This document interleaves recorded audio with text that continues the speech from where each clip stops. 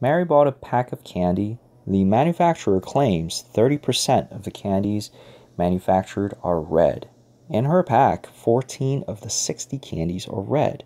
She ran a simulation of 300 samples, assuming the manufacturer is correct. The results are shown below. Based on the simulation, determine the middle 95% of plausible values that the population of red candies in a pack is within. Based on the simulation, is it unusual that Mary's pack had 14 red candies out of a total of 60? Explain. All right, so we're going to construct a 95% confidence interval. And what that means is uh, we want to find all the um, percentages of candies that are red uh, that are within two standard deviations from the mean. So looking at this right now, the mean based on the simulation is 0.301. We're going to go two plus or minus two standard deviations from that because that will be 95% of the distribution. And if we do this, let's take our calculators and do that. So over here, 0.301 plus 2 times 0.058. That will be 0.417. So this will be 0.407. And let's do it the other way around. Oh, 417, not 07. And we're going to do the difference.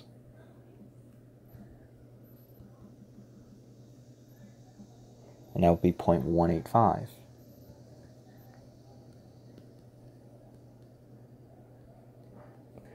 So 95%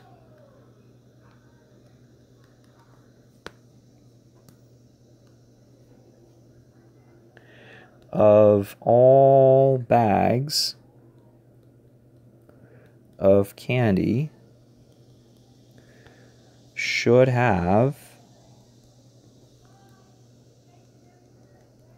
anywhere between 18.5% to 41.7%.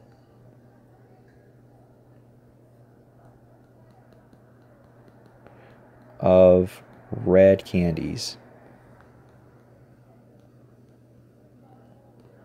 So based on the simulation is it unusual that Mary's pack had 14 red candies. So 14 out of the 60 is equal to, let's see, what is that percentage?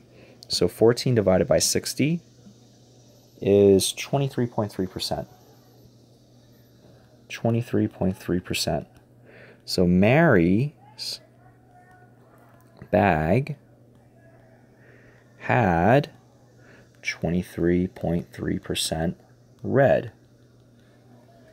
This is this is not unusual as it uh, falls within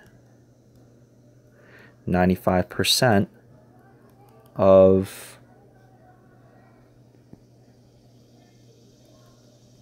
falls within 95% of the um, confidence interval.